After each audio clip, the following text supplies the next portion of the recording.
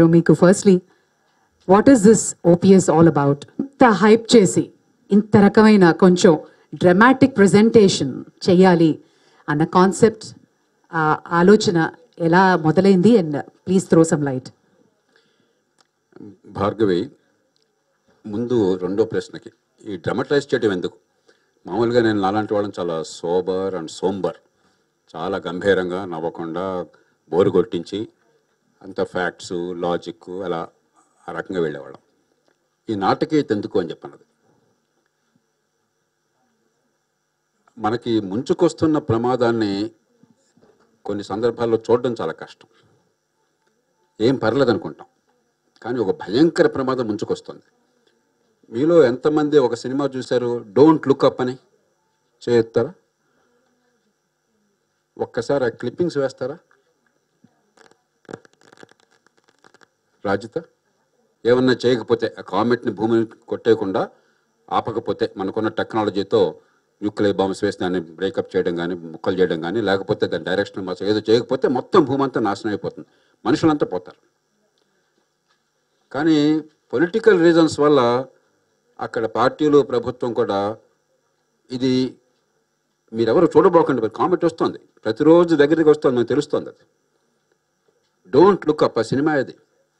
మీరు చూడబోకండి అని చెప్పాను. మరికొందరం అయ్యా నాశనం అయిపోతుంది మనుషులంతా చచ్చిపోతారు మనం మన సంతానం అంతా పోతాము ప్లీజ్ లుక్ అప్ అని వీళ్ళనేవాడు ఆ సినిమాలో మెరిల్ స్ట్రీప్ సుప్రసిద్ధ యాక్ట్రెస్ అట్లాగే Kate Blanchett Leonardo DiCaprio Jennifer Lawrence వీళ్ళంతా చేశారు. ఒక్కసారి క్లిప్పింగ్ చూపెడతారా? రాజిత ఒక షార్ట్ క్లిప్పింగ్ ఉన్నది. బయటికి పైకి వెళ్ళి చూడొద్దు అసలు మీటిఆర్ కామెంట్ కొట్టినా అని చెప్తున్నారు. పాపం మనలాంటి చాలా బలహీనమైన గొంతుకలు చూడండి బయట చచ్చిపోబోతున్నాం ఏదైనా చేద్దామని చెప్పంటే వాళ్ళకి బలమైన గొంతుకలు చూడొద్దు అని చెప్తున్నారు. ఈవేళ ఈ పెన్షన్ సిస్టమ్ భార్గవి కరెక్ట్గా అదే జరుగుతుంది. ఖచ్చితంగా నూటికి నూరు పళ్ళు నేను ఎప్పుడు వాస్తవాలు తప్ప ఇంకోటి మాట్లాడను. నూటికి నూరు పళ్ళు ఫండెడ్ పెన్షన్ రాకపోతే ఫండెడ్ పెన్షన్ అని చెప్పంటే నెల నెల ఉద్యోగి ప్రభుత్వము తలా కాస్త డబ్బులు ముందే పెట్టేస్తే ఆ డబ్బును పెరుగు పెరుగుతుంది. దాని నుంచి పెన్షన్ వస్తే భవిష్యత్తుకి ఇబ్బంది లేదు. ఇప్పుడు ఏం జరుగుతుందంటే అన్ఫండెడ్ పెన్షన్. ఒక్క పైసా పెట్టకుండా the kicking the can down the road. ఇరవై ఏళ్ళ తర్వాత ముప్పై ఏళ్ళ తర్వాత తరువాతి తరం పన్నుల డబ్బుల్లోంచి పెన్షన్ ఇవ్వాలి. ఆ పెన్షన్ ఏమో అమాంతం పెరిగిపోతుంది. కొన్ని ఉదాహరణలు ఒకటి ఒకటి రెండు ఉదాహరణలు చెప్తాను. సంస్థల పేరే చెప్పను. ప్రభుత్వంలో ఒక సంస్థలో ఒక బంట్రోతుగా పనిచేసే మనిషికి ఒక పాతిక ఇరవై ఐదు ముప్పై ఏళ్ళు కనుక ఎక్స్పీరియన్స్ ఉంటే లక్ష ఇరవై వేల రూపాయలు జీతం. నిజం నంబర్ ఇది. అన్ని చోట్ల అలా ఉందని అంటలా. కానీ కొన్ని సంస్థల్లో అలా ఉందంటే మిగతా వాళ్ళు కాస్త తక్కువగా డెబ్బై వేలు ఎనభై వేలు ఉంటుంది. బంట్రోతు ప్యూన్. రిటైర్ అయినప్పుడు ఆయనకు వచ్చే డబ్బు డెబ్బై లక్షల రూపాయలు లంపసం ఒక్కసారి. ఆ తర్వాత నెల నెల పెన్షను అరవై వేల రూపాయలు. ప్రభుత్వంలో ఎట్లా సరే జీతాలు ఎట్లాగో తంటాలు పడుతున్నాం. కనీసం అప్పటికప్పుడు ఇచ్చేస్తున్నాం. పెన్షన్ల భారం ఇలా పెరిగిపోయేసరికి కాలక్రమేణా ఉద్యోగులకి జీతాలు పెన్షన్లు కూడా రావు. వాళ్ళు ఏదో వస్తాయనుకుని గట్టిగా గొడవ చేస్తున్నారు. ఎందుకంటే అప్పు చేసుకుంటే డబ్బు అంతా కూడా. కొంతకాలం పోయినాక అప్పుల భారం పెరిగిపోతే వడ్డీలు జీతాలు పెన్షన్లు ఇవన్నీ కూడా వచ్చిన పన్నుల డబ్బు చాలని పరిస్థితి వస్తే మనం మొత్తం డబ్బంతా సరిపోకపోతే అప్పిచ్చేవాడు అప్పులు ఇవ్వడం మానేస్తాడు. కాబట్టి ప్రభుత్వానికి జీతాలు పెన్షన్లు కూడా ఇప్పటికీ చూస్తున్నారు మీరు. కొన్ని సందర్భాల్లో ఒక నెల రెండు నెలలు పెన్షన్లు జీతాలు ఆలస్యం చేస్తున్నారు. ఆ నెల గవర్నమెంట్ అప్పు తీసుకోకపోతే వెయ్యి రెండు వేల కోట్ల జీతాలు లేవు. ఇవాళ పరిస్థితి ఇప్పటికే ఉన్నాం చాలా చోట్ల. కొన్నేళ్ళు పోయాక గ్యారంటీగా ఉద్యోగులకి జీతాలు పెన్షన్లు రావు. మన బతుకులకు ఎలాగో ఠికానా లేదు. గవర్నమెంట్ ఇప్పుడు చేస్తున్న కొద్ది పనులు కూడా చేసేది లేదు. మనం అంతా పన్నులు కట్టేది ఊడిగం చేయడం కోసం. అది బాంబు విస్ఫోటం జరగబోతోంది. కాబట్టి ఈ గంట జరగబోవటంలా కాబట్టి మనం చూడొద్దు. దాని గురించి పట్టించుకోవద్దు అంటున్నారు. ఆ మూడు శాతం ఓట్లంటే భయపడుతున్నారు. వాళ్ళేమో బెదిరిస్తున్నారు. గొంతున్న వాళ్ళు డబ్బున్న వాళ్ళు బలవంతులు మనకంటే సంఘటితంగా ఉన్నవాళ్ళు. మనమంతా ఈ కులం ఈ వర్గం ఆ ప్రాంతం ఈ పార్టీ అని తన్నుకుంటున్న వాళ్ళం. అత్యధికులు బలహీనులు బేదలు గొంతు లేని వాళ్ళు ఏదో తాత్కాలికంగా ఏమైనా మురిపో మురిసిపోయేవాళ్ళు. కాబట్టి భాగవతం నడుస్తోంది. ఇది గనక ఆపకపోతే నేను నిశ్చయంగా చెప్తున్నాను గుండె లోతుల్లోంచి చెప్తున్నాను. ఒక పదిహేను ఇరవై ఏళ్ళ తర్వాత ఈ దేశాన్ని మనం మర్చిపోవచ్చు. ద ఫ్యూచర్ ఈజ్ ఫినిష్డ్ ప్రమాదం ఉంది కాదు ఖాయంగా నాశనం అయిపోతుంది. కాబట్టి దీన్ని ఆపి ఉద్యోగులకు న్యాయం చేయాలి. మీరు పెన్షన్ డబ్బులు కనుక ఇప్పుడే గవర్నమెంట్ వేరే అకౌంట్లో పెడితే ఉద్యోగి కూడా పెడితే గవర్నమెంట్ రేపొద్దులు ఏమైనా కూడా ఉద్యోగికి ఆ పెన్షన్ భరోసా ఉంటుంది. ఆ డబ్బు ఎక్కడికి పోదు. గవర్నమెంట్ నుంచే పెన్షన్ వస్తున్నప్పుడు కొంతకాలం గవర్నమెంట్ నాశనం అయ్యాక మీకు డబ్బులు రావు సమాజం నాశనం అయిపోతుంది. ఇది అర్థం కావాలి. దీని గురించి చర్చ జరగటంలా. ఆ కారణంగా ఈ బాంబులు ఈ నాటకీయత ఒక స్టోరీ చెప్తే కానీ ఇప్పుడు మన విజేంద్ర ప్రసాద్ గారు కానీ లేకపోతే తమ్మారెడ్డి గారు కానీ స్టోరీ ఆ స్టోరీ చెప్తే కానీ హత్తుకోదు. సిద్ధాంతం చెప్తే ఏం హత్తుకుంటుంది? కాన్సెప్ట్ చెప్తే ఏం హత్తుకు ఏం హత్తుకుంటుంది? అందుకోసం అని చెప్పి ఇంత హడావుడి చేయాల్సి వచ్చింది. Reddy garu, can I ask you? Father also worked for the department, uh, state government. So, అప్పటి వాళ్ళు really so dangerous? Colonial idea colonial idea అది. ప్రపంచం అంతా కాంట్రిబ్యూటరీ ప్రావిడెంట్ ఫండ్ అని క్రియేట్ చేసుకుంటారు ఫండ్స్ అంటే ఎంప్లాయీస్ కంట్రిబ్యూట్ సమ్ అని government contribute some అని this is created called pension funds ఆ పెన్షన్ ఫండ్స్లో నుంచి వాళ్ళకి పెన్షన్ ఇస్తారు కానీ అన్బడ్జెటెడ్ ఎక్స్పెండిచర్ ఇది.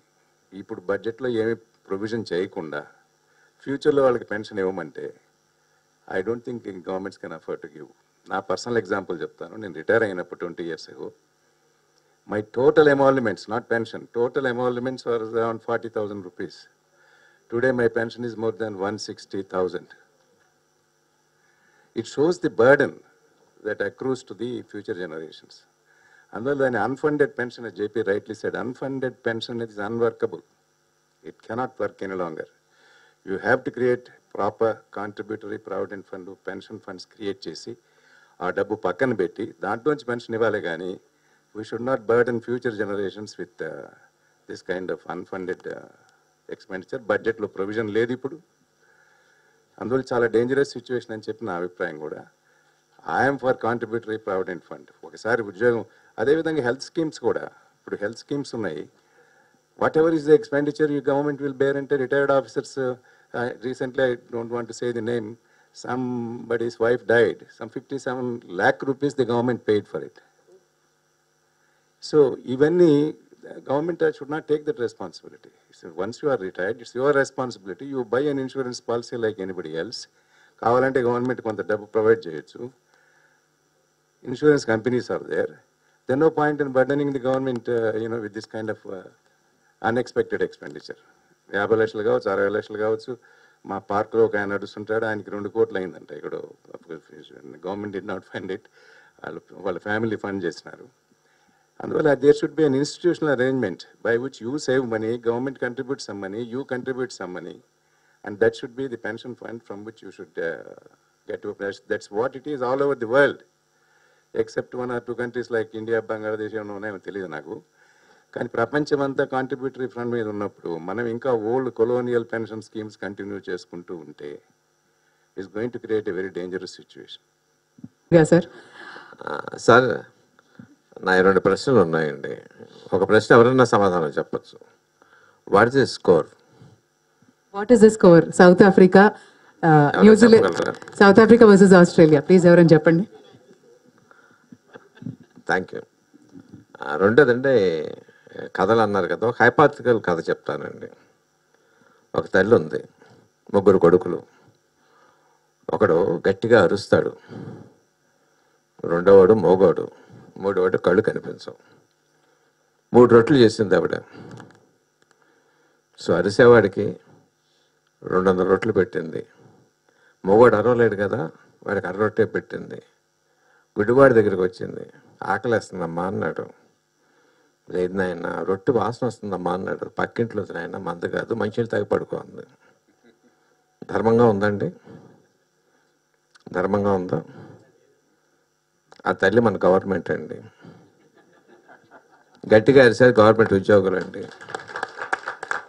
అరవలైన వాళ్ళు నూటికి తొంభై మంది అనార్గనైజర్ సెక్టర్ ఇప్పుడే అడిగాను. అంటే నేను తప్పుగా మాట్లాడలేదండి గవర్నమెంట్లో పనిచేస్తే అతి లోయెస్ట్ ఒక ప్యూన్కి. ఆయన minimum twenty five to thirty thousand ఎంతో శాలరీ వస్తుందంట. అనార్గనైజ్ సెక్టర్లో మ్యాక్సిమం వచ్చేది పది నుంచి పదిహేను వేల రూపాయలు. ఆయన రిటైర్ అయ్యేసరికి అరవై వేలు డెబ్బై వేలు వస్తాయి. అనా సెక్టర్ దయమీ లేదండి. కాలేజ్ ఇప్పటితో ఎవరు చూస్తారు వాళ్ళని? దాని గురించి అసలు ఎవరు ఎందుకు మాట్లాడరు? సార్ జేపీ గారు ఐఎమ్ టాకింగ్ అబౌట్ రియాలిటీస్ అండి. ఇప్పుడు మీరు చెప్పే ఈ మాటలు విన్న వాళ్ళందరూ కూడా చదువుకున్న వాళ్ళు అయితే అండి. బహుశా చాలామంది ఇంట్లో ఓటు వేయరండి వెళ్ళి ఆ రోజు అండి. వేయమండి ఓటు వేయరండి. బికాస్ దట్స్ వాట్ షోస్ హైదరాబాద్లో ఫిఫ్టీ ఫైవ్ సిక్స్టీ పర్సెంట్ అండి. ఇంకా తక్కువ కూడా ఉంది ఓటింగ్ అండి so take this appeal to the people who matter to the politicians who have the votes మీరు ఆ ఇది చెయ్యొద్దు ఇది చేయొద్దు అంటే కామన్ మ్యాన్కి పట్టదండి. రే పిచ్చిన పిచ్చి ఎదవల్లారా మీకు ఎంత వస్తుందిరా? మీకు మూడు వేల నాలుగు వేల ముప్పై వేల డెబ్బై వేల మీరు ఎందుకు అడగ మీ పొలిటీషియన్స్ని అడగండి. ఓటు అడగటానికి వచ్చిన వాళ్ళని మా సంగతి చూస్తావా? చూస్తే మీకు ఓటేస్తామని చెప్పిన వాళ్ళతో అడిగిపించండి అక్కడ ఓటు రాలుతాయి కాబట్టి ముందు దాబు చేస్తారండి. వాళ్ళకి ఇవ్వబోయింది మాకు ఇవ్వండి పోయి ఈ ప్రశ్న లేవనెత్తేలాగా చేయండి సార్. ఇది చాలా సులువు అండి ఇప్పుడు ఈ స్టేట్ ఎలక్షన్స్ చాలా కష్టం అండి ఎంపీ ఎలక్షన్స్ వస్తున్నాయి మే లోపల.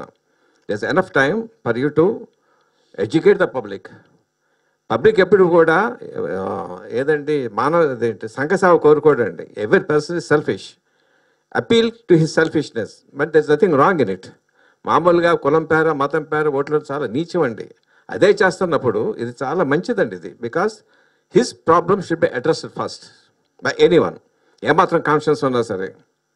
Raise this problem raise this awareness in the public వాడు నిలదైన వాడు వచ్చి పొలిటీషియన్స్ని ఏ పార్టీ డజంట్ మ్యాటర్ నువ్వు ముందు మా సంగతి చూస్తావా? వాడు డబ్బులు పెంచబోయే ముందు. అలా చేస్తే మీకు ఓటేస్తామనండి. దాని పొలిటీషియన్స్ ఇటు నుంచి ఓట్లు వస్తాయి కాబట్టి they first take care of these people మంచి జరుగుతుంది సార్ దేశానికి. This is what I feel sir sir sir. Tammareddy గారు.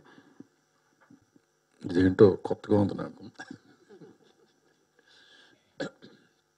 ఇందాకే జేపీ గారు ఏదో ఇంటర్వ్యూ ఇస్తే దాని మీద ఎవరు కామెంట్ చేశారు కింద. నేను ముప్పై ఏళ్ళు స్కూల్ టీచర్గా చేశాను సార్. ముప్పై ఏళ్ళు నేను సర్వీస్ చేశాను దేశం కోసం. ఇప్పుడు నాకు పెన్షన్ వస్తుంది. ఈ పెన్షన్ రావద్దని మీరు చెప్తున్నారు. ఇది ఎంతవరకు న్యాయం నేను చేసిన సేవే కదా. అంటే ఇక్కడ నా క్వశ్చన్ ఏంటంటే ఇవాళ చాలామంది చదువుకుంటున్నారు బయటకు వస్తున్నారు. ఈ ఈ జనాభాలో ఎంతమందికి ఉద్యోగాలు వస్తున్నాయి అసలు? ఉద్యోగం రావటమే ఒక పెద్ద ప్రివిలేజీ వాళ్ళు ఉద్యోగం చేస్తున్నంత కాలం దే ఆర్ ఎంజాయింగ్ సంథింగ్ ఏ ఏ ఉద్యోగం వచ్చినా కానీ అసలు గవర్నమెంట్ ఉద్యోగం అనేది పూర్వకాలం గవర్నమెంట్ ఉద్యోగాలు తప్ప వేరే ఉద్యోగాలు ఉండేవి కాబట్టి ప్రాబ్లీ ఆ రోజుల్లో ఈ స్కీములు పెట్టారేమో. ఇవాళ ఉద్యోగాలు రకరకాలైన ఇందాక సార్ చెప్పినట్టు వీళ్ళు చాలామంది ఎక్కడ పెడితే అక్కడ ఏ ఉద్యోగాలు పెడితే ఉద్యోగాలు చేసేవాళ్ళు చాలామంది ఉన్నారు. ఇప్పుడు మన జర్నలిస్టులు ఉన్నారు. వీళ్ళు పొద్దున్న ఆరింటికో ఐదింటికో వస్తారు రాత్రి దాకా ఉంటారు. మా సినిమా వాళ్ళు అయితే మరీ మోసం. ఎవరు చచ్చిపోయినా ఎవరు పుట్టినా ఎవరు ఏదైనా కానీ హాస్పిటల్ ముందు చచ్చి వాళ్ళ దగ్గర పడి ఉంటారు వీళ్ళు. రాత్రి మగళ్ళు ఎవడొచ్చి ఏం మాట్లాడతాడు అని. వాళ్ళ జీవితాన్ని తలుచుకుంటే చాలా బాధేస్తుంటుంది వాళ్ళకి ఏమొస్తుంది తర్వాత? ఆ జీతం రాపి ఏం రాదు. వాళ్ళు మరి ఇదే కష్టం లేకుండా కష్టం లేకుండా కదా కష్టం చేస్తున్నారు. టెన్ టు ఫైవ్ జాబ్ చేసే వాళ్ళకి తర్వాత వచ్చేసరికి నాకు ఆంజనేయ రెడ్డి గారు చెప్పినట్టు ఆయన జీతం నలభై వేలు ఇవాళ పెన్షన్ లక్ష అరవై వేలు. ఇది ఎక్కడ న్యాయం? న్యాయంగా చెప్పాలంటే. నేనేమంటే పెన్షన్ అవ్వ- ఇవ్వచ్చు. నలభై వేలు అంటే నలభై వేలు ఇస్తారేమో నలభై వేలు కావచ్చు అరవై వేలు ఇస్తారేమో తెలియదు కానీ పెన్షన్స్కి ఇప్పుడు రివైజ్ పే రివిజన్స్ వచ్చినప్పుడల్లా రివైజ్ చేస్తున్నారు. అట్లీస్ట్ అదన్నా లేకుండా అంటే కొంతలో కొంత పెన్షన్ కావాలి. ప్లస్ అసలు అన్నిటికంటే బెస్ట్ ఫండింగ్ ఎందుకు చేసుకోకూడదు? మన మన సెల్ఫ్ ఫండింగ్ చేసుకుని చేసుకుంటే తర్వాత వచ్చేది ఎవరికి ఎవరి మీద పడుతుంది బాధ్యత? ఓ పక్కన ప్రభుత్వాలు కొంత పెద్ద వాళ్ళు క- దాన్ని? కార్పొరేట్ కంపెనీస్కి డబ్బులు మాఫీలు చేస్తున్నాయి. అక్కడ పోతుంది. ఇక్కడ ఈ త్రీ పర్సెంట్కి ఇటు పోతుంది అక్కడ one percent point one five percent అక్కడ పోతున్నాయి. అల్టిమేట్గా నాశనం అయ్యేది మిగతా ninety four point ninety six point five percent పోతున్నారు. నైంటీ సిక్స్ పాయింట్ ఫైవ్ ఇవాళ ఈ కొత్త జిఎస్టీ సిస్టమ్ వచ్చినాక ఆల్మోస్ట్ ప్రతి మనిషి ట్యాక్స్ కడుతున్నాడు. ఈ ఈ గవర్నమెంట్కి వెళ్తున్న ప్రతి రూపాయికి మనం ఇంతగా ఒకప్పుడు పదిహేను ఇరవై ఏళ్ళ కిందంటే ఓన్లీ ఇన్కమ్ ట్యాక్సే అక్కడ ఇన్కమ్ వచ్చేది గవర్నమెంట్కి ఇవాళ ప్రతి మనిషి జిఎస్టీ అంటే డబ్బు కడతాం మన రూపాయి ప్రతి రూపాయి ఖర్చు పెట్టే దాని మీద జిఎస్టీ వెళ్తాను. సో ప్రతి మనిషికి హక్కు ఉంది ఆ డబ్బు మీద.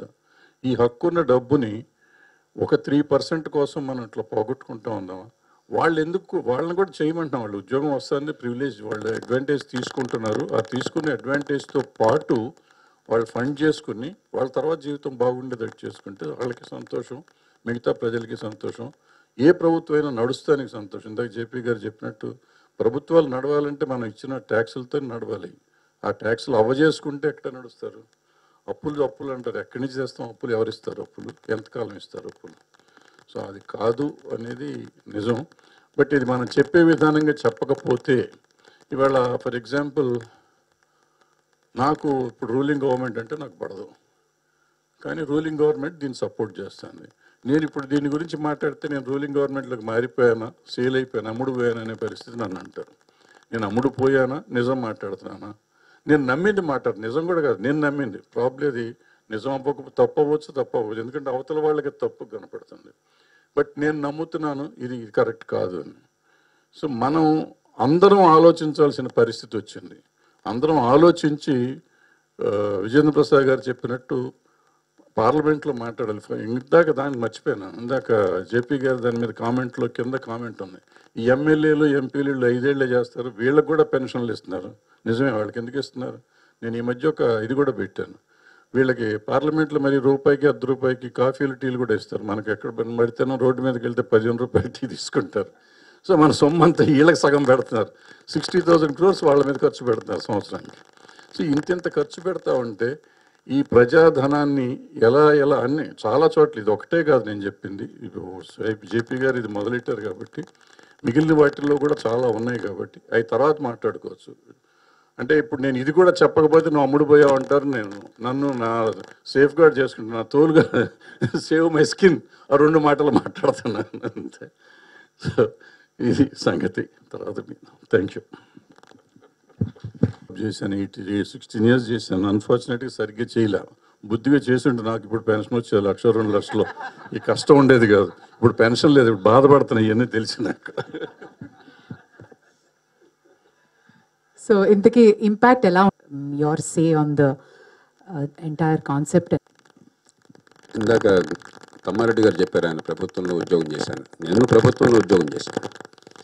వీళ్ళెవరో మనకు శత్రువులు కాదు. మా నాన్నగారు గవర్నమెంట్లో పనిచేశారు.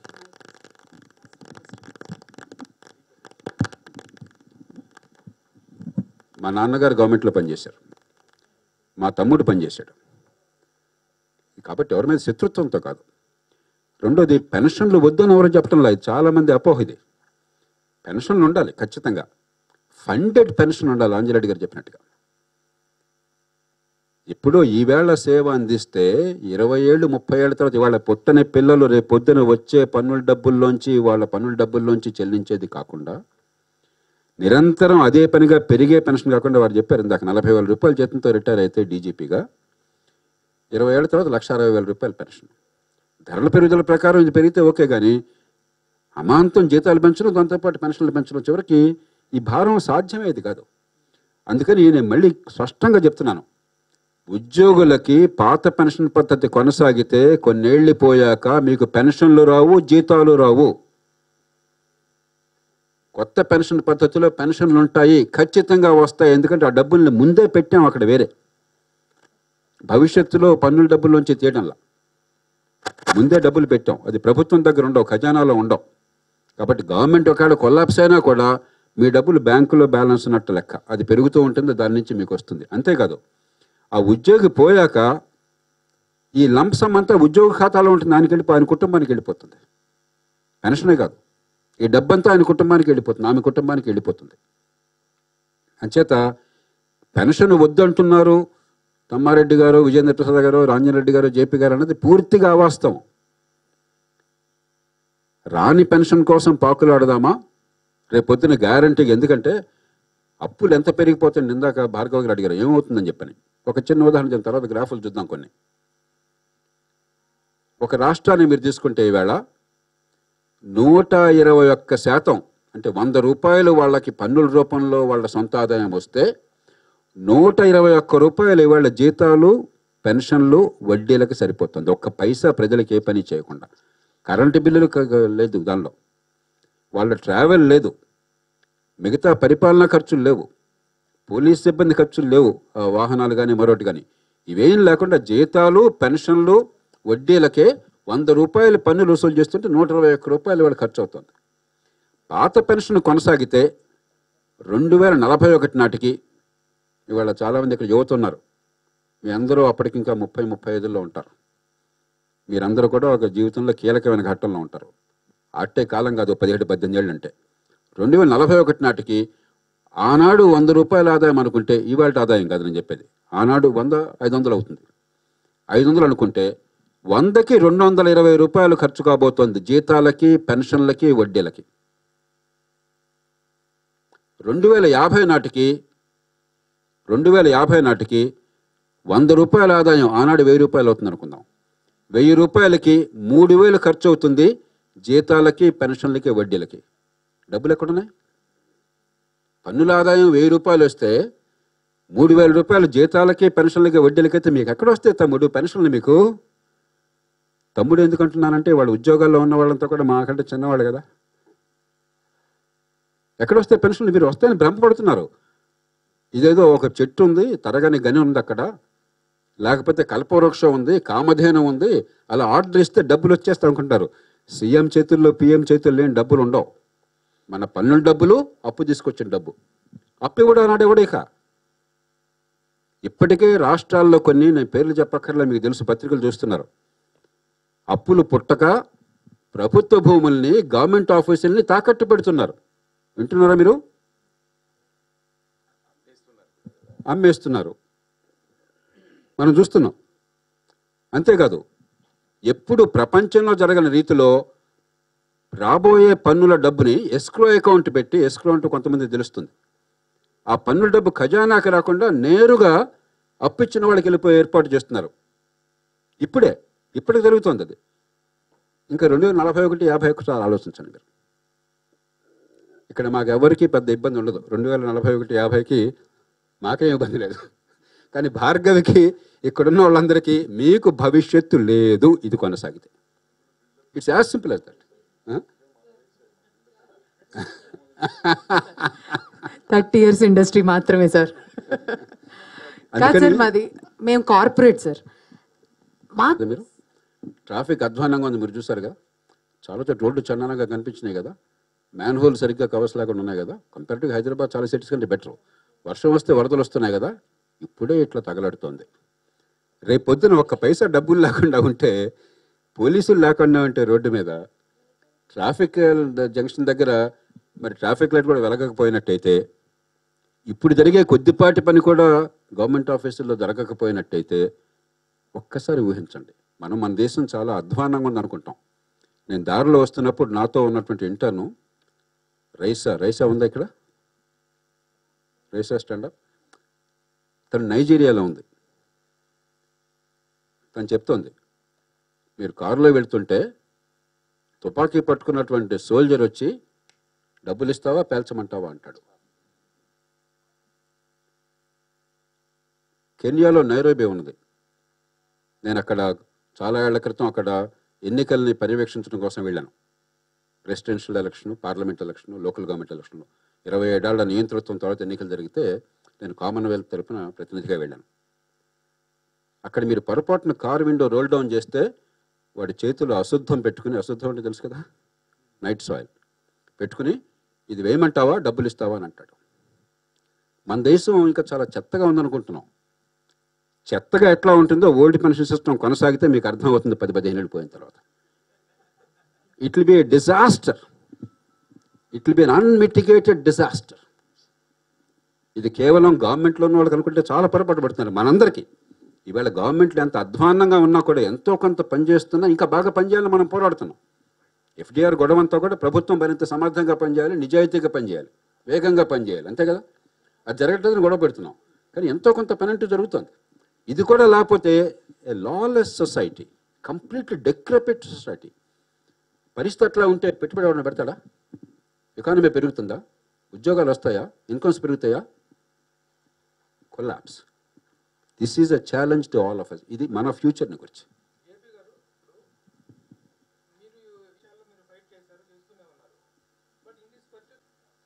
చాలా చేశాము కొన్ని సాధించాము. కానీ అవి వెంటనే లైఫ్ ఆర్ డెత్ కాదు. అవి జరగడం అవసరం దేశానికి. ఉదాహరణకి రూల్ ఆఫ్ లా లేదు. బడితున్నాడితే బర్రీ ఈ దేశంలో అంతే కదా? ఎవరికి పవర్లో ఉంటే వాడు కావాల్సిన వాడు రక్షించుకుంటున్నాడు మీకు వాడికి ఎదురొస్తే మనం కాల్చి పారేయమంటున్నాడు జైల్లో పెట్టమంటున్నాడు. మనం చూస్తున్నాం అది. లంచాలు అదే పనిగా మింగుతున్నారు. మనం చూస్తున్నాం అది. పవర్ అంతా సెంట్రలైజ్ అయిపోయింది. ఇవన్నీ ఉన్నాయి. ఇవన్నీ మారాలి. కానీ ఒక గంటలో ఒక రోజులో మారకపోతే ప్రత్యేకంగా అదనపు ఉపదన కొంచెం కొంచెం నష్టం జరుగుతుంది. ఇవాళ కాబట్టి రేపైనా జరగచ్చు కానీ ఇదేమిటంటే లైఫ్ ఆర్ డెత్ ఇష్యూ అందుకే ఈ బాంబు ఒకసారి మీరు దీనిలోకి వెళ్ళిన తర్వాత లీగల్గా కమిట్మెంట్ ఇచ్చాక ఇంకో విషయం గుర్తుంచుకోవాలి. రెండు వేల నాలుగు దాకా చేరిన ప్రభుత్వ ఉద్యోగులందరికీ పాత పెన్షన్. ఎందుకంటే వీళ్ళతో గొడవ ఎందుకని? వాజ్పేయి గారి ప్రభుత్వం కొత్తగా రెండు వేల నాలుగు నుంచి చేరిన వాళ్ళకి మాత్రమే ఈ ఫండెడ్ పెన్షన్. మీ కంట్రిబ్యూట్ చేయండి గవర్నమెంట్ కంట్రిబ్యూట్ చేస్తున్న ఏర్పాటు చేశారు. అందుకని వాళ్ళు రిటైర్ అయ్యేదాకా ఈ తేడా కనిపించదు మనకి. అందుకే రెండు వేల ముప్పై ఐదు నలభై అయిన కారణం ముప్పై ఏళ్ళ తర్వాత రిటైర్ అవుతుంటారు. రెండు వేల నాలుగు తర్వాత వచ్చిన వాళ్ళంతా రిటైర్ రిటైర్మెంట్ ముప్పై ఐదు నలభైలో వస్తుంది. అప్పటి నుంచి మీకు దాని ప్రభావం తీవ్రంగా కనిపిస్తుంది. ఇది ఇన్ఎవిటబుల్ అన్నారు. ఈవేళ విజేందర్ గారి పుణ్యమని కొత్త పదం నేర్చుకున్నాను. నేను ఇప్పుడు దాకా ఇన్ఎవిటబుల్ పదం ఉంది కానీ ఎవిటబుల్ లేదనుకున్నాను. నేను గట్టిగా లేదండి అని చెప్పాను ధైర్యంగా. ఆయన వెంటనే గూగుల్ చూశారు. ఎవిటబుల్ అంటే అవాయిడబుల్ అవాయిడ్ చేయగలది. ఇన్ఎవిటబుల్ అంటే అవాయిడ్ చేయడం సాధ్యం కానిది. అనివార్యమైనది. ఆపలేనిది. ఇది ఆపలేనిది. అనివార్యమైనది. ఇది దేశానికి ఆత్మహత్యా సదృశం. ఎందుకంటే దేశంలో ఎన్ని అధ్వాన్నంగా ఉన్నా కనీసం ఆర్థికంగా పెరుగుతుంది. మనలో అందరూ గుండె మీద చేసి చెప్పండి. ఇరవై ఏళ్ళు ముప్పై ఏళ్ళ క్రితంతో పోలిస్తే మనందరి జీవితాలు బాగున్నాయి. మనం రోజు కంప్లైంట్ చేస్తున్నాం. పరిస్థితి బాగోలేదని కానీ అప్పటితో పోలిస్తే మొబైల్ ఫోన్లు ఉన్నాయి. ఈ పాటికి ఇరవై ముప్పై ఏళ్ళ క్రితం అయితే కరెంటు మూడు సార్లు పోయి ఉండేది. అవునా కదా? ఏసీలు నడుస్తున్నాయి. మంచి ఆటోమొబైల్స్ వచ్చినాయి. బెటర్ రోడ్స్ వచ్చినాయి. చాలా టెక్నాలజీ వచ్చింది. జీవితాలు బాగుపడుతున్నాయి. ఇదంతా పూర్తిగా నిర్వీర్యమైపోయి గవర్నమెంట్ ఫెయిల్యూర్ వల్ల కొలాప్స్ అయిపోతే ఇంకా this nothing we can do వెనక్కి వెళ్ళే అవకాశం లేదు. అందుకని ఇది జీవన మరణ సమస్య. ఇది కూడా లేకపోతే ఆర్థికంగా కూడా దేశం పెరిగే అవకాశం లేకపోతే ఈ వయసులో నాకంటే అనుభవం ఉన్నవాళ్ళు ఈ వయసులో నేను చాలా ఆశావాదిని. నేను ఎప్పుడు ఏనాడు కూడా దేశం గురించి నిరాశతో మాట్లాడలేదు. మీ అందరికీ తెలుసు. ఈ వయసులో మా కళ్ళెదురుగా ఈ దేశం సర్వనాశమైపోతుందో అయిపోతుంది భరించలేటువంటిది దీన్ని ఆపలేకపోతే ఈ బాంబు విస్ఫోటాన్ని ఆపలేకపోతే సర్వనాశనం తథ్యం. ఖచ్చితంగా ఆపితేరాలి. ప్రాణమొడ్డి పోరాడైనా సరే దాన్ని ఆపితేరాల్సిందే. అందుకోసం ఇంత గట్టిగా పట్టుబట్టడం మన ప్రణవ్. అసలు మనకు గొడవ లేకుండా పోయేది. వెస్ట్ బెంగాల్ మినహాయిస్తే అన్ని స్టేట్స్ ఒప్పుకున్నాయి. వాజ్పేయి ప్రభుత్వం ప్రారంభించింది ఎన్డీఏ. తర్వాత వచ్చిన కాంగ్రెస్ ప్రభుత్వం యూపీఏ ప్రభుత్వం మన్మోహన్ సింగ్ నాయకత్వంలో దాన్ని గట్టిగా ముందుకు తీసుకెళ్ళారు. ఉప్పు నిప్పైన రెండు పార్టీలు కూటమిలు కూడా పూర్తిగా ఏకాభిప్రాయంతో ముందుకు తీసుకెళ్ళారు. అన్ని రాష్ట్రాలను ఒప్పించారు. జాతీయ స్థాయిలో అమలు చేశారు. ఒక పశ్చిమ బెంగాల్ పశ్చిమ బెంగాల్ తీరే వేరు. తర్వాత మాట్లాడుకుందాం. అది మినహాయిస్తే మిగతా అన్ని రాష్ట్రాలు దీనిలో చేరినాయి. మన ఆంధ్రప్రదేశ్ కర్ణాటక తమిళనాడు తెలంగాణ కేరళ అన్ని రాష్ట్రాలు చేరినాయి. దేశం అంతా కూడా. గత రెండు మూడేళ్ళ నుంచి ఈ ఉద్యోగులు బట్టిగా ఆర్గనైజ్ అయిపోయి మిమ్మల్ని ఓడించి పారేస్తాం పాత పెన్షన్కి వెళ్ళకపోతే తడాగా తేలుస్తాం అంతు తేలుస్తాం అని చెప్పని బెదిరించడం మొదలెట్టారు.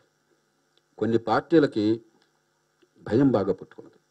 పార్టీలు ఎలక్షన్లకు ముందు ఎగ్జామినేషన్కి వెళ్ళేటువంటి కుర్రోళ్ళ లాంటి వాళ్ళు. ఏమీ చదవకుండా ముందు లాస్ట్ మినిట్లో బట్టి బట్టి పరీక్షలు ఏమనుకుంటాడు ఆ కుర్రాడు?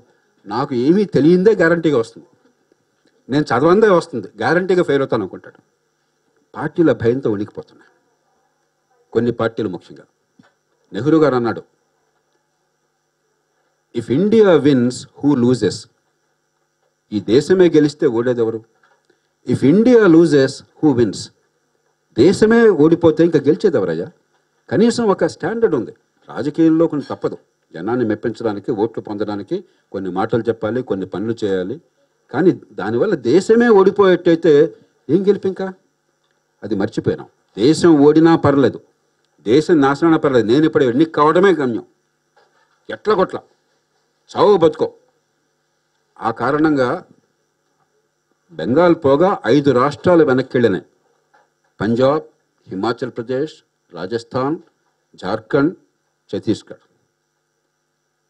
కర్ణాటకలో హామీ ఇచ్చారు. ఇప్పుడు ప్రభుత్వంలోకి వచ్చిన వాళ్ళు. అమలు కాకుండా నా రాత్రి బౌల్లో పోరాడుతున్నాం. అక్కడ ప్రయత్నం చేస్తున్నాం సిద్ధరామయ్య గారితో కూర్చుని. ఇక్కడ తెలంగాణలో హామీ ఇచ్చారు ఒక ప్రధాన పార్టీ వారు. మధ్యప్రదేశ్లో హామీ ఇచ్చారు. కాలక్రమేణా డోమినో ఎఫెక్ట్ అంటాం. నాదేం పోయింది? నాకేం నష్టం లేదు కదా. దేశం నాశనం నాకేం కావాలన్న భావం వస్తే రాజకీయ పార్టీలకి ప్రభుత్వాలకి ఇది దీన్ని కాపాడలేం. ఏమవుతుందో మాట్లాడుకున్నాం మనం. ఈవేళ అందుకు అర్జెన్సీ వచ్చింది. ఇది life or death moment for the country's future. శాపనార్థాలు ఉండొచ్చు కానీ బెదిరింపులు లేవు. వితౌట్ పెన్షన్ కాదు వాళ్ళందరికీ కంట్రిబ్యూటరీ పెన్షన్ వస్తుంది. కొత్త పెన్షన్ పద్ధతి అంటే పది పర్సెంట్ ఎంప్లాయీ పెడితే గవర్నమెంట్ ఆఫ్ ఇండియా పద్నాలుగు పర్సెంట్ పెడుతోంది. ఈ డబ్బేమో ఇన్వెస్ట్ చేస్తారు అది పెరుగుతుంది. పెన్షన్ రెగ్యులేటరీ డెవలప్మెంట్ అథారిటీ ఉంటుంది పెన్షన్ ఫండ్ పిఎఫ్ఆర్డిఏ అని చెప్పని. ఆ డబ్బు పెరుగుతూ ఉంటుంది. బ్యాంకుల్లో పెడతారు స్టాక్ మార్కెట్లో పెడతారు బాండ్స్లో పెడతారు. అది పెరుగుతూ ఉంటుంది. దాని నుంచి పెన్షన్ వస్తుంది అది ఆయన మనిషి ఖాతాలోనే ఉంటుంది. పెన్షన్ అయిపోయిన తర్వాత జీవితకాలం అయిపోయిన తర్వాత ఆ మొత్తం డబ్బంతా పెరిగిన డబ్బంతా కలిపి కుటుంబానికి వెళ్తుంది. కాబట్టి పెన్షన్ ఉంది. పాత పెన్షన్ లేదు. చాలామంది పెన్షన్ లేదు పెన్షన్ తీసేస్తున్నారు మాకు అన్యాయం జరుగుతుంది వాపోతున్నారు. వాస్తవం కాదు. భార్గవి జర్నలిస్టు. మీరు ప్రావిడెంట్ ఫండ్ అయితే నాకు మన ఢిల్లీలో తెలిసింది. ఎకనామిక్ టైమ్స్లో వాటిలో ఎడిటర్గా పనిచేసిన స్థాయిలో ఉన్న వాళ్ళు రిటైర్ అయిపోతే ఆమెకి పదిహేడు వందల ఎనభై రూపాయలు పెన్షన్ వస్తుందట. ఈ ప్రావిడెంట్ ఫండ్ ఆ ఇంట్రెస్ట్ డబ్బులు వచ్చేది. ఒక ఎడిటర్గా జర్నలిస్ట్గా టాప్ లెవెల్లో పనిచేస్తే పదిహేడు నలభై రూపాయల? ఒక బంట్రోతుగా పనిచేస్తే అరవై వేల రూపాయలు పెన్షన్ అది కూడా ఫ్యూచర్లో నా కంట్రిబ్యూషన్ లేకుండా? ఎలా సాధ్యమవుతుంది? నంబర్స్ తెలిసిపోతున్నాయి మనకి. కాబట్టి పెన్షన్ లేకుండా లేదు. కానీ నేను కంట్రిబ్యూట్ చేయకుండా దేశం నాశనమైనా నాకు వస్తే డబ్బు మీరెందుకు ఆపుతారని చెప్పిన గొడవ జరుగుతుంది. అది. ప్రాబ్లం జేపీ గారు ఇప్పుడు మీరు చెప్తున్న పాయింట్ ప్రకారం ఇవాళ ఎలక్షన్ జరుగుతున్న టైంలో మీరు చెప్పినట్టు కాంగ్రెస్ వాళ్ళు ప్రామిస్ ప్రామిస్ చేస్తుంటే ఇప్పుడు మనం తెలియకుండా బీజేపీకి మనం సపోర్ట్ చేస్తాం అన్నట్టు అంటే అనేది ఇక్కడ విజయన ప్రసాద్ గారు చెప్పినట్టు it's time to educate public. No we're not addressing any political parties. If you start talking about political parties it will be taking side అన్న ఒక సైడ్ తీసుకున్న వాళ్ళు అయిపోతాం. సో ఇది have to take I mean చాలా thin line ఉంది మధ్యలో. దాన్ని జాగ్రత్తగా అడ్రస్ చేయకపోతే మనం మన ముఖం మీద ఒక పెద్ద బీజేపీ ముద్రేసి పంపిస్తారు బయటికి.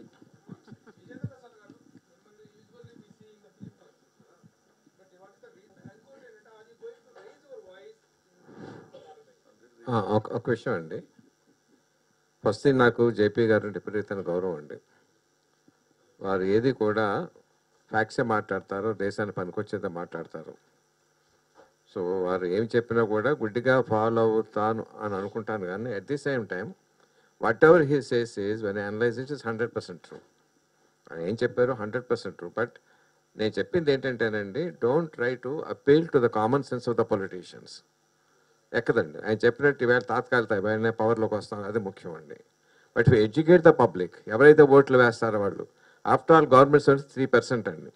If six percent of the voters in any కాన్స్టిట్యూన్సీసే మీ దాన్ని సపోర్ట్ చేసి మీకు ఓట్ వేయమన్నారు అనుకోండి politics automatically no this is a better place this is a better option కాబట్టి వాళ్ళు వద్దంటారన్నమాట that's how you can stop it at the same time unorganised sector కూడా address చేయాలండి government first priority organise sector కన్నా కూడా. It's a win win situation అండి. That's what I was proposing అండి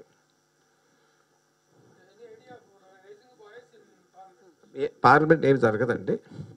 అండి పార్లమెంట్లో నేను ఇండిపెండెంట్ సభ్యుడికి అడిగితే సెషన్కి ఒక ఒక అవకాశం రావచ్చు అండి నేను ఆ ప్రశ్న వేస్తానండి. Doesn't matter anything there this is the right venue అండి. కొంతమంది మన జర్నలిస్ట్ ఫ్రెండ్స్ కేరళ గవర్నమెంట్లో రాజభవన్ రాజ్భవన్లో టెంపరీ ఎంప్లాయ్మెంట్ ఇచ్చేవాళ్ళు వాళ్ళ పార్టీ వర్కర్స్కి ఏ పది మంది ఇరవై మందికి ఎంప్లాయ్మెంట్ ఇవ్వడం వన్ వన్ టూ ఇయర్స్ తర్వాత మళ్ళీ వాళ్ళని తీసేసి మళ్ళీ ఇంకో కొత్త బ్యాచ్ని తీసుకురావడం ఇలా చేయడం మొదలుపెట్టి టెంపరీ ఎంప్లాయ్మెంట్ దాన్ని గవర్నమెంట్లో కాంట్రాక్ట్ ఎంప్లాయ్మెంట్ అంటారు.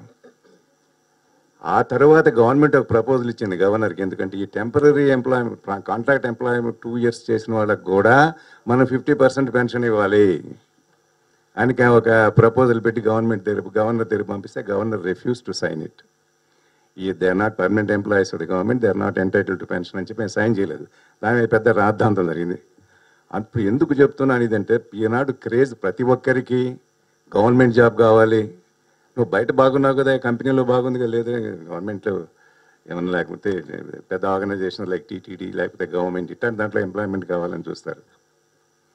దానికి కారణం ఈ పెన్షనే మనం మన బాధ్యత లేకుండా మనకు పెన్షన్ వస్తుంది. మన డబ్బు మనం సేవ్ చేయకుండానే మనకు పెన్షన్ వస్తుంది అని ఆలోచన చెప్పి we're trying to make it known to people thank you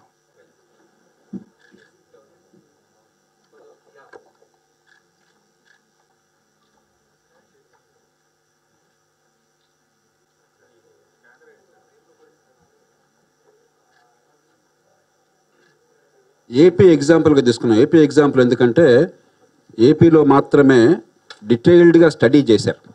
అన్ని రాష్ట్రాలు ఇట్టానే ఉంటాయి. కానీ ఎగ్జాక్ట్ నెంబర్స్ ఏపీలో మన దగ్గర ఉన్నాయి. ఇంకా ఏ రాష్ట్రం అంత డీటెయిల్గా స్టడీ చేయాల.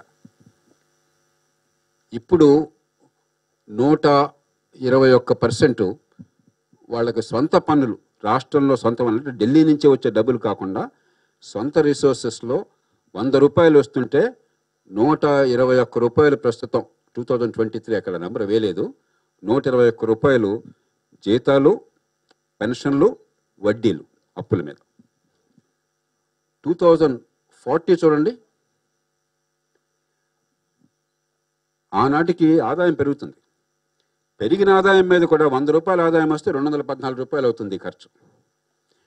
ఇంకొక పదేళ్ళు జస్ట్ పదేళ్ళు చూడండి టూ థౌజండ్ ఫిఫ్టీ చూడండి. ఆనాడు ఇంకా పెరుగుతుంది ఆదాయం.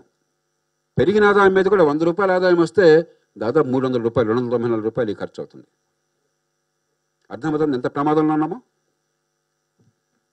ఇక రెండు వేల ఒక వంద ఇక్కడ ఉన్నటువంటి పిల్లలందరూ ఉంటారు అప్పటికి. Seven forty five percent. ఇవన్నీ జరగవు. ఎందుకంటే ఒక స్టేజ్ రాగానే అప్పులు ఆగిపోతాయి. మీకు వచ్చిన ఆదాయం కంటే ఎక్కువ ఖర్చు పెట్టి ఎప్పుడు సాధ్యం? అప్పుల వల్ల.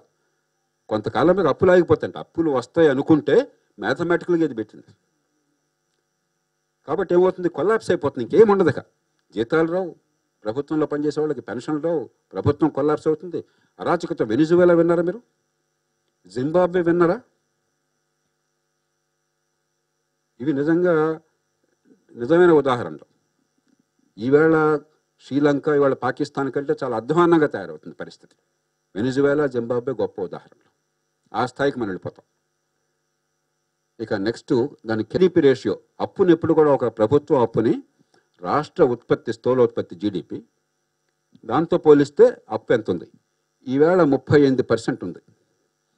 టూ ఇరవై పర్సెంట్ కంటే ఎక్కువ ఉండకూడదు. రాష్ట్రాల్లో అప్పులు ఇరవై పర్సెంటే ఉండాలి. అంతకంటే ఎక్కువ ఉంటే అది సాధ్యం కాదు. రీపే చేయటం. టూ థౌజండ్ ఫార్టీకి డెబ్భై ఏడు పర్సెంట్ అవుతుంది. ఇరవై పర్సెంటే ఉండాలి గుర్తుంచండి. ఇరవై దాటితే మనం తిరిగి చెల్లించలేం. టూ థౌజండ్ ఫిఫ్టీకి నూట ఏడు పర్సెంట్. నూట ఏడు పర్సెంట్ దేని మీద? మొత్తం రాష్ట్ర స్థూల జాతీయ అంటే రాష్ట్రం మొత్తంలో అందరి ఆదాయాన్ని కలిపితే అంతకంటే ఎక్కువ అప్పు అయిపోతున్నారు ప్రభుత్వానికి. You can imagine what is happening అప్పు మీద వడ్డీ ఒకసారి అంకెల్ గురించి అర్థమయ్యేది చెప్తాను. వడ్డీ వ్యాపారం కొంచెం తెలుస్తుంది కదా.